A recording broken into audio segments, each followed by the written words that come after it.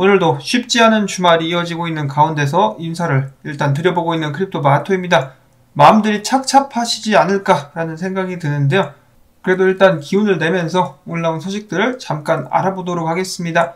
최근에 발표된 5월 미국의 인플레이션율 때문에 연준이 다음 주에 엄청난 메가 스텝을 밟으면서 금리를 0.75% 인상할 수도 있다라는 가능성이 제기가 되고 있다고 합니다. 월가의 투자자들 및 대형 은행들이 이렇게 이야기를 하고 있는 것인데요. 자, 물가 정점론, 즉 인플레이션이 고점을 찍었다라는 이론이 힘을 잃고 있는 상황 속에서 바클레이즈, 제프리즈 등 월가의 투자 은행들은 다음 주에 연준에서 기준 금리를 0.75% 인상할 가능성이 있다라고 밝혔습니다. 공격적으로 금리를 올려가지고 시장을 놀래켜야 해 된다. 그래야만 인플레이션율을 잠재울 수 있다라고 이야기를 하고 있는 것이죠. 레리 서머스 전 재무장관도 이야기하기를 그동안의 금리 인상 논의가 0.25%냐 0.5%냐에 맞춰졌었는데 그게 아니라 0.5%냐 0.75%냐에 초점을 맞춰야 된다라고 이야기를 하기도 했었습니다. 연준 의장인 제롬 파월 같은 경우는 0.75% 같은 경우는 논의를 할 생각이 없다라고 밝히기도 했었는데 최근에 발표된 인플레이션율이 그의 이러한 의견에 변화를 줄 수 있을지 한번 지켜봐야 될 것 같습니다. 자, 근데 이 많은 소위 말하는 경제 전문가들이 간과하고 있는 것이 있는데요.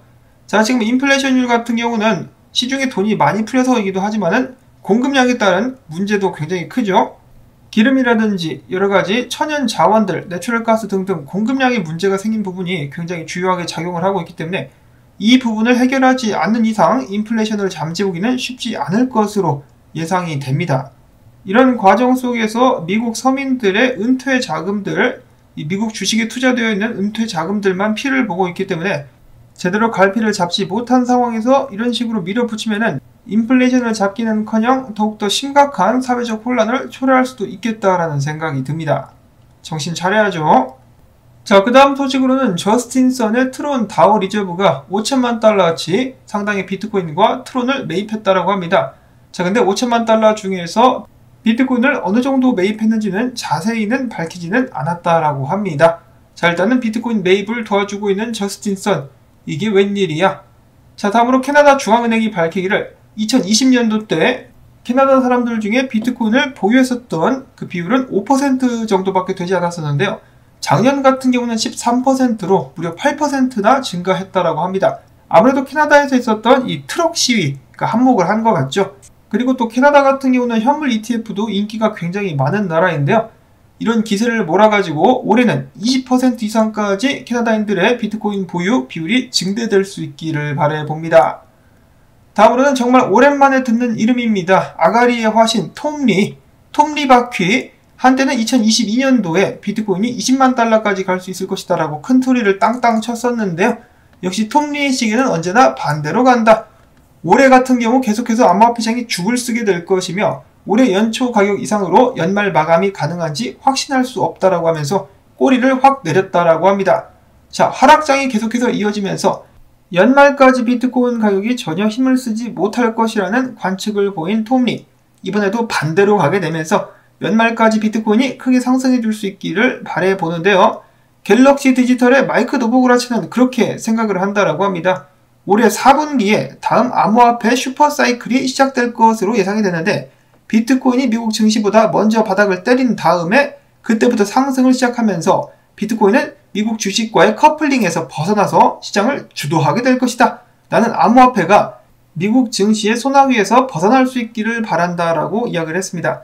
자, 그러면서 노브그라치 하면 떠오르는 것이 무엇입니까? 바로 루나의 대형 투자자다 였었다라는 것인데요. 자, 그는 팔뚝에 루나, 문신까지 새기기도 했었던 사람입니다. 그는 이야기하기를 나 때는 말이야 내가 루나에 투자를 했을 때 초기 300배 이상 쉽게 수익을 낼 수 있었는데 자, 300배 이상 수익 내는 거 정상적이야? 아니야? 아니야. 그렇게 되면은 뭔가 다 이유가 있다는 것을 알아야만 돼. 당신이 무엇에 투자하고 있는지 분명히 알아야만 된다라고 다시 한번 경고를 남겼습니다. 자, 근데 노보그라츠 같은 경우는 수익을 많이 냈죠. 많이 내고 빠져나왔기 때문에 이 루나 투자자들 나중에 들어간 사람들만 지금 피를 많이 본 상황이다라고 볼 수가 있겠습니다. 자, 아무튼 다시 비트코인으로 돌아와 가지고 다음 반감기까지 비트코인 블락 10만 개가 채 남지 않았다라고 합니다. 반감기가 진행되고 나면은 비트코인 인플레이션율이 1.6%에서 0.8%까지 떨어지게 될 상황, 갈수록 채굴되는 비트코인의 양은 줄어들게 된다는 것이죠. 지금 쌀 때 그리고 앞으로 더 싸지게 된다면 많이 많이 사서 쟁여가지고 미래를 대비할 수 있도록 해야만 하겠습니다. 자 다음으로는 비트코인 분석인데요. 특별한 분석은 나와 있지 않습니다. 다만 지금 비트코인이 정말 중요한 지지 구간에 들어섰기 때문에 이 자리에서 잘 버틸 수 있는지를 봐야만 되는 것이겠죠. 그리고 해당 구간에서 볼륨의 모습을 보아하니 지지선이 잘 버텨줄 것 같다라는 예측이 나오고 있다라고 합니다. 자 그러면서 큰 그림으로 봤을 때 주요 지지 구간에 들어선 비트코인 자 만약에 비트코인이 주요 지지 구간인 28,555달러 아래로 내려가게 된다 그러면은 더욱더 크게 하락할 가능성이 높지만은 지금 상황에서 딱 봤을 때는 아래로 쭉 떨어지는 것보다 반등할 가능성이 더 높다는 것이죠. 그렇기 때문에 지금 롱을 치느냐 숏을 치느냐 비율을 봤을 때는 롱이 좀 더 유리하지 않나라고 이야기를 하기도 했었습니다. 근데 주말이죠. 주말 동안에는 온갖 이상한 움직임이 일어나도 전혀 놀랄 것이 없는 암호화폐 시장이기 때문에 주의를 기울여서 비트코인의 움직임을 지켜봐야 될 것 같습니다. 자 일단 계속해서 제대로 된 반등 없이 무너지고 있는 비트코인이기 때문에 사람들이 지쳐가고 있는데요. 지금까지 암호화폐들을 보유하고 계신 분들이라면 존버를 하시겠다라고 마음을 먹으신 것이 아닌가라는 생각이 듭니다. 이럴 때일수록 흔들리지 마시고 잘 견디실 수 있기를 바래 봅니다. 물론 투자에 대한 조언은 아닙니다. 만약에 나는 손절을 쳐야겠다 싶으신 분들은 그렇게 하셔도 되고요. 여러분들의 돈이니까 신중하게 잘 판단하실 수 있기를 바랍니다. 자 다음으로는 오늘 전 세계를 경악하게 만든 이더리움 차트 보도록 하겠습니다. 사토시 차트가 녹았습니다. 주요 지지선인 1700달러를 잃어버린 후에 살벌하다 싶을 정도로 녹아내리고 있는 이더리움은 지금 현재 2017년도 때 고점을 테스트하러 내려가고 있다고 합니다. 굉장히 굉장히 암울한 상황의 이더리움. 무엇이 이더리움을 이렇게 괴롭히고 있는 것일까? 관련된 기사를 읽어보기 전에 분석 먼저 보도록 하겠습니다. 꽥꽥 오리 선생은 지금 현재 이더리움의 상태에 대해서 다음과 같은 진단을 내렸는데요. 나는 이더리움이 다음과 같은 상황을 만족시켰을 때에만 관심을 갖겠다. 첫 번째로는 만약에 이더리움이 1000달러까지 떨어진다. 그러면은 그 자리에서 잘 버텨주는지 관심을 한번 가져보도록 하겠고 그 다음에 이렇게 되기도 힘들겠지만 400달러까지 떨어진다. 그러면 또 관심을 가져보겠고 혹은 2500달러 이상까지 올라가게 된다. 그러면 계속해서 상승할 수 있을지 모르니까 거기서 또 관심을 가져보도록 하겠고 혹은 1000달러에서 2500달러 사이에서 구간 반복을 만들어낸다. 그러면은 롱치고 숏치고 이 구간을 한번 잘 노려보겠다라고 이야기를 하고 있습니다. 그 전까지는 무서우니까 손을 대지 않겠다라고 이야기를 한 것이죠. 안전한 자리에서만 확실한 자리에서만 베팅을 하겠다라고 밝힌 꾀꾀 오리 선생. 그가 보는 차트는 다음과 같은데요.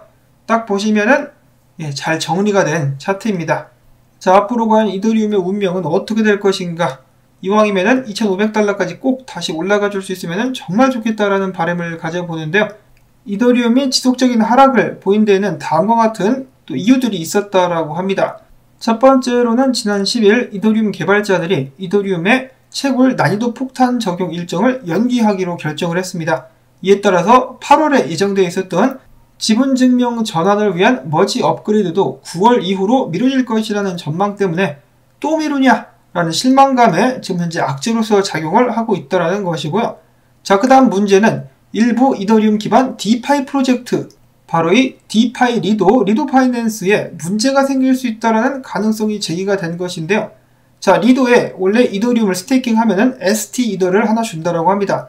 이네들이 원래 1대1로 교환이 돼야 되는데요. 지금 1대1 패깅이 무너지면서 테라 사태 때 악몽이 다시 한번 생각나고 있다는 것이죠.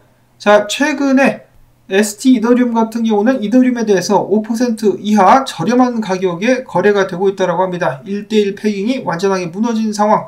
참고로 지난 9일 큰 규모의 주소에서 5만 개의 ST 이더를 매도하게 되면서 현재 이 pool의 이더리움 비율은 20%까지 떨어진 상황이라고 합니다.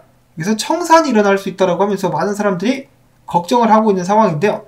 자 그리고 특히 여기서 이름이 등장하게 되는 암호화폐 lending 및 이자 지급업체 Celsius가 위기를 맞이하고 있다는 이야기들이 속속들이 들려오고 있습니다.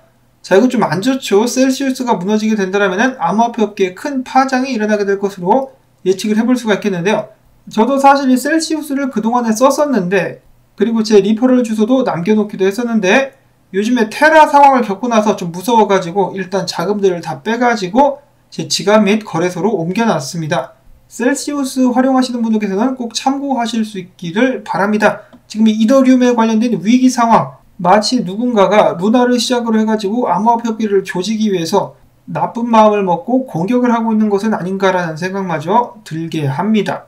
최근에 PayPal 플랫폼 밖으로도 암호화폐 전송 기능을 지원하면서 암호화폐에 관련된 서비스에 박차를 가고 있는 PayPal의 CEO가 이야기하기를 조만간에 각 플랫폼에서 암호화폐를 통해서 즉 이 PayPal 및 암호화폐를 통해서 결제할 수 있는 기능을 지원할 수 있게 될 예정이다라고 밝혔습니다. 암호화폐 업계에는 좋은 소식이다라고 볼 수가 있겠는데 지금 시장 상황이 위태위태한 것이 정말 아쉽습니다. 이런 소식이 불장 때 발표가 됐었더라면 연료로서 충분히 활용될 수 있었을 것인데 아쉽고요. 다음으로는 미국 신용카드 회사 중의 하나인 American Express가 암호화폐 brokerage 플랫폼인 Abra와 함께 손을 잡고 첫 암호화폐 reward 신용카드를 출시할 예정이라고 합니다. 사용자들은 100종에 해당하는 암호화폐로 reward를 받게 될 수 있을 예정이라고 하고요. 다음으로는 루나 관련된 소식들이 계속해서 나오고 있습니다. 이번엔 국내 검찰이 다음과 같은 조사 결과를 발표를 했는데요. 굉장히 충격적입니다. 권도용 대표 같은 경우 루나와 바꿀 수 있는 또 다른 암호화폐 1조 5천억 원어치를 개인 투자자들 모르게 몰래 발행을 해가지고 이것을 루나랑 바꿔가지고 1조 5,600억 원어치 상당의 투표권을 부당하게 챙긴 것으로 의심이 된다라고 합니다. 또한 이러한 사실을 권 대표 외에 큰 손으로 불리는 일부 기관 투자자들 역시 알고 있었던 것으로 파악이 된다라고 하는데요. 노보그라츠도 여기에 포함이 될까라는 생각이 듭니다. 하여간 이 까도 까도 계속 나오는 이 테라폼 랩스에 관련된 부정적인 의혹들 일단 진실로 밝혀지는지를 가장 먼저 꼭 지켜봐야만 될 것입니다. 그리고 만약에 나쁜 짓을 한 것이 다 드러난다. 그러면은 일단 재산 전부 다 몰수한 다음에 화끈하게 사형 한번 가든가 해야 될 것 같죠? 시간이 갈수록 더욱더 떨어지고 있는 대한민국의 위신. 안타깝습니다. 설상가상으로 최근에 금융위원회가 업비트를 조사를 해봤는데 여러 가지로 위반 사항들이 발견되게 되면서 업비트의 영업 정지 등 중징계의 가능성이 불거지고 있다고 합니다. 매체에서는 다루기를 업비트가 고객 확인 의무 위반 행위, 고액 현금 거래 보고 의무, 의심 거래 보고 의무 등을 전부 다 위반을 해버렸다. 그래가지고 징계에 들어갈 예정인데 만약에 업비트가 가상자산 거래소에 부여되는 특별 의무 사항까지 위반한 경우 최고 수준의 징계인 6개월 영업정지까지 당할 가능성이 있다라고 합니다. 무시무시합니다. 자 그러면 고객들의 자금은 어떻게 되는 것인가? 정지를 당하게 된다 할지라도 제때제때 뺄 수 있도록 꼭 배려를 해줄 수 있기를 바라보면서 오늘 영상은 여기서 또 마무리를 짓도록 하겠습니다. 여기저기서 동시다발적으로 개판이 쳐지니까 정신이 하나도 없는데요. 이럴 때일수록 정신줄 바짝 챙겨야 되겠죠. 오늘 나온 소식들이 여러분들께 도움이 꼭 되셨다면 토마토밭 살려주기 운동 광고 영상 재생 및 좋아요 눌러주기 오늘도 부탁을 드립니다. 여러분들이 도와주셔야만 저도 계속해서 살아남을 수가 있겠죠. 자, 그러면 저는 다음에 새로운 소식 가지고 인사를 드리도록 하겠습니다. 안녕히 계십시오.